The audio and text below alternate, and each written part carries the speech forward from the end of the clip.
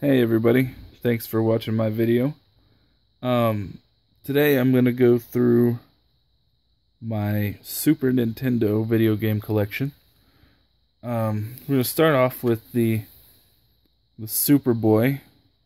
I bought this because I'm actually a huge fan of the Pokemon games, and uh, I wanted to see what it was like to play one on my TV through my Super Nintendo, and it is actually pretty awesome. And uh, here we have Super Off Road, which is a truck racing game. It's pretty fun. Uh, it's hard if you don't get the the concept of top-down racing. here we have one of the first Madden games, Madden 94. It is uh, it's amazing to go back and play it and see where the graphics actually came from to where they are now. And here we have NBA Jam.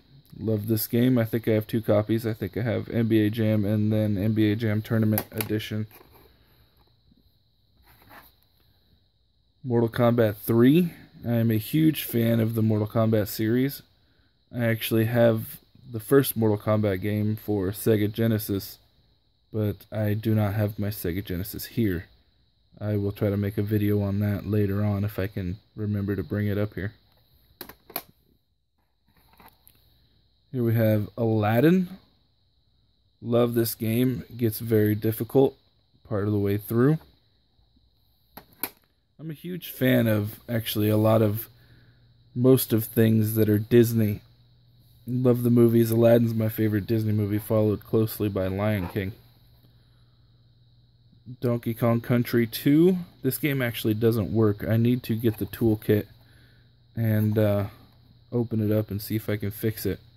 Because this game's actually a classic. Super Mario World. This game's actually worth some money. It's worth anywhere from 20 to $30. And it's still fun. Uh, I'm not very good at it. Here we have Street Fighter 2. If it'll focus.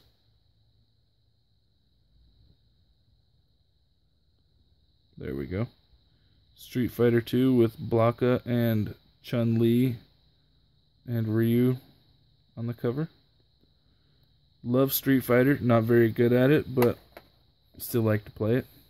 And here's the NBA Jam Tournament Edition. And then we have my favorite Super Nintendo game. If you watched my last video, you know that I am a huge fan of Mario Kart. This is where it all started for me. Mario Kart on Super Nintendo. Uh, both in this version and the Nintendo 64 version, Rainbow Road is my favorite level. Um, really hard in this version though because it doesn't have any walls. So, I hope you liked this video. I'll be back very shortly with another video game collection video. hope you like. Leave any comment telling me your favorite Super Nintendo game, and I will talk to you later. Bye.